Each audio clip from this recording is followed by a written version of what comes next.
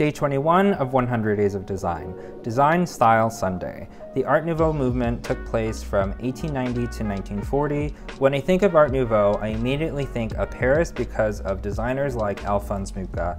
This era of graphic design took inspiration from nature, which explains the earthy color palettes. There was also a lot of emotion in the work.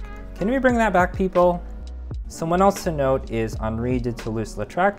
He was commissioned to do the posters for different cabarets in Paris. This is the era where posters were embraced as the way to reach people.